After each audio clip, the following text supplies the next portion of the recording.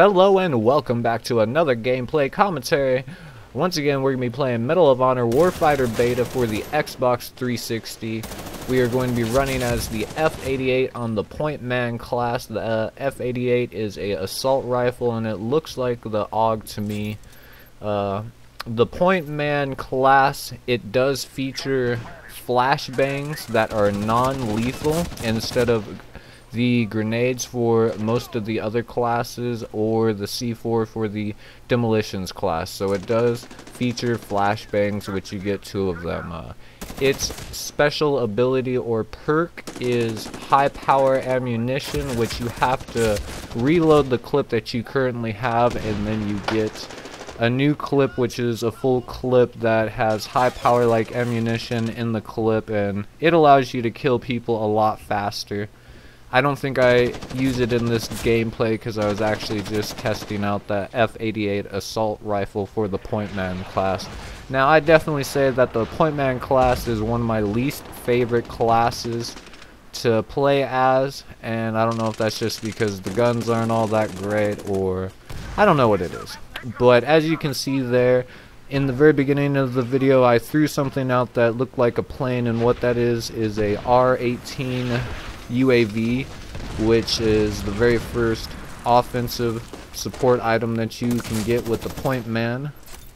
And then after that you get a airburst mortar strike. And then right here you see a little bird which I thought I was going to get to fly the little bird. I didn't think it was going to come in and just wreck havoc. So I got no kills with the little bird because that was the very first time I'd ever used it so I don't know. I would say that in this game, teamwork is key for you winning or losing the game on Hotspot. Now, what I mean by that is I'm playing with my buddy Original Remix for real, and at the very end of the game, we come out on top as the top uh, fire squad and all that. Now, if you're playing the game by yourself with no friends and you get that random person as your squad mate. Usually, 9 out of 10 times, you get a bad person that really doesn't know what they're doing or they just are bad at the game like overall so whenever you try to spawn into the game the game likes to try to also force spawn you on your buddy now half the time your buddy's in combat or pretty much been spotted by the enemy so, what I don't get is why the game tries to keep force spawning you on your buddy. Now, you can tap up to fall back, but it always goes right back down to your buddy. So the way to not spawn on your buddy all the time is hold up whenever you are spawning for you to roll that cursor up over to the fall back icon.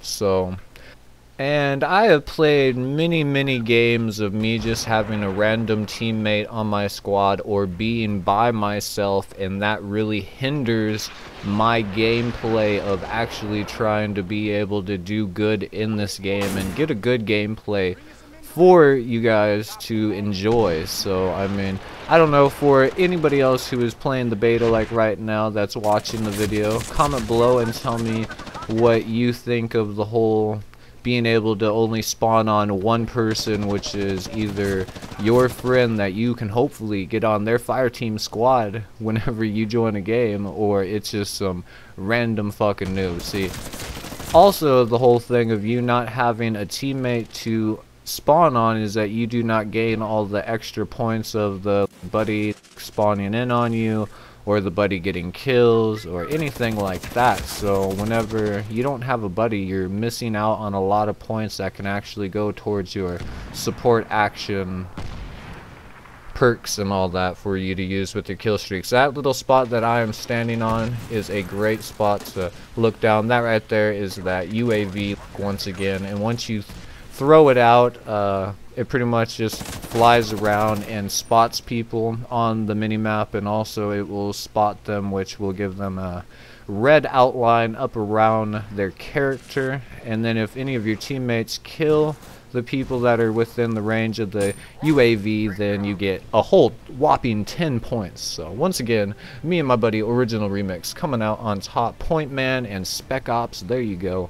Hopefully you guys enjoyed this gameplay. If you guys are getting bored of this medal of honor gameplay stuff, then just comment down below and I will upload something else. Uh, be sure to drop me a like and if this is your very first time across my channel, then be sure to hit that subscribe button. We'll see you later for some different guns and gameplays. Woo woo woo.